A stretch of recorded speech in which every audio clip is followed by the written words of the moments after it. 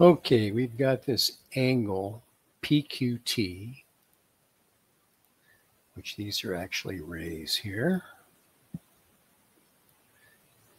And that angle is bisected by ray QS, which means cut into two equal parts. You're told that the measure of angle SQT, that's this one right here, has an expression 8x minus 25 representing its measure and angle PQT, which is the big one, uh, is represented by 9x plus 34.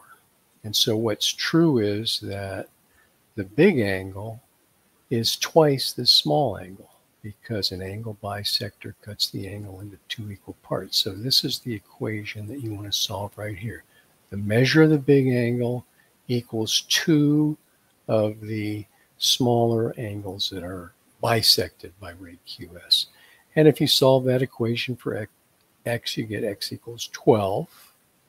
So that means that this angle right here, SQT, is 8 times 12 minus 25, which is 96 minus 25, which is 71. And so if this is 71 degrees, so is this angle. And so it better be the case if we put 12 in here for x, that we get 142. And we do. 9 times 12 is 108. 108 plus 34 is 142.